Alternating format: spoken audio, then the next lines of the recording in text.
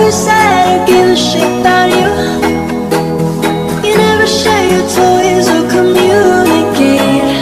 I guess I'm just a playdate to you.